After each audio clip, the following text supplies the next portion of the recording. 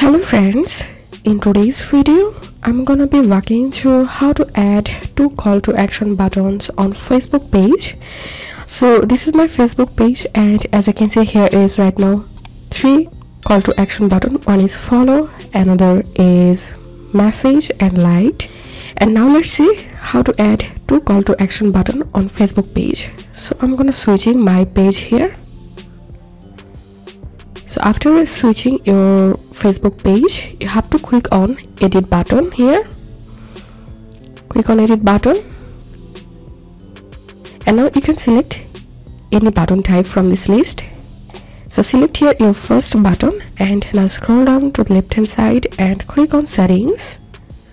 And here you'll find messages option so click on edit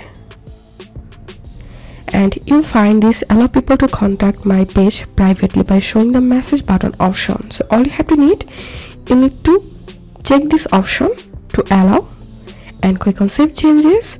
And that's how you will get two call to action button on your facebook page.